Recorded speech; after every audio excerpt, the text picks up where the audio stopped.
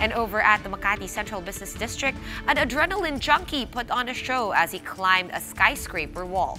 But the so-called French Spider-Man also learned that with great power comes great responsibility. Bim Santos has that report. A few minutes before 11 this morning, a man suddenly started climbing the wall at the GT Tower in Makati. Without any harness or safety gear, the man pulled himself up one aluminum canopy at a time. As curious bystanders gradually crowded the area, security eventually cordoned off the building. Medyo delikado. Pero kung talagang sanay na sanay siya, okay lang. Members of the police, SWAT, and fire department also arrived. The man reached the top of the 50th floor in an hour. When he came down, police immediately escorted him to the police station. The man was identified as Alain Robert, who is known as a French Spider-Man and has scaled various skyscrapers such as the Burj Khalifa in Dubai and Petronas Towers in Malaysia. Robert maintained what he did was not a crime. You know what I saw today? I, I saw thousands of, pe of people inside the building.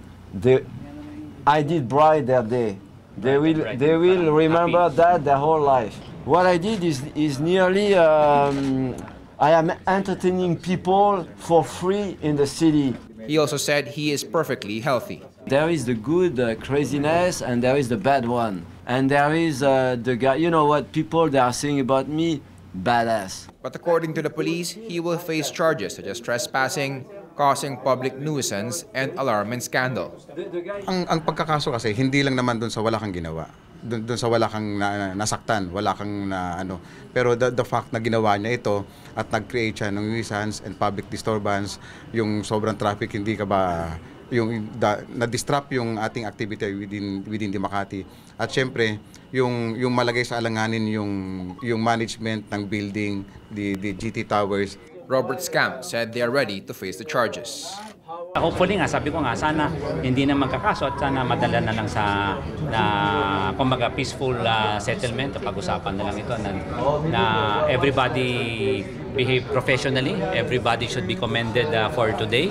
Uh, and uh, yun nga, everything went uh, well.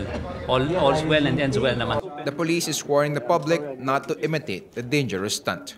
Bim Santos, we are One News.